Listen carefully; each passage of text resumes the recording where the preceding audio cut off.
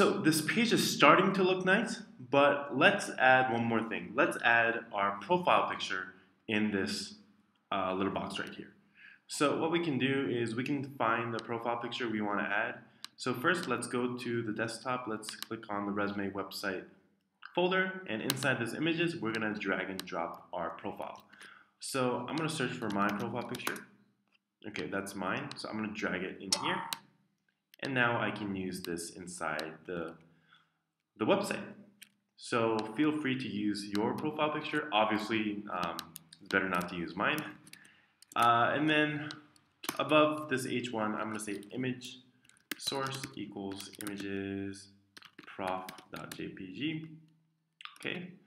And actually, I'm going to add a class called prof pic. Okay, save it.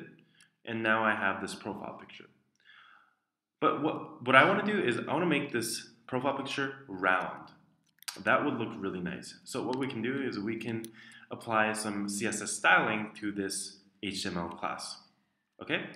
So uh, under this prof box, I'm going to add styling for the prof pic. Again, since it's a class, we started with dot, and then we add the class name, and then inside this brackets, we're going to add some styling. So to make it round, what we can do is we can say border radius 50%.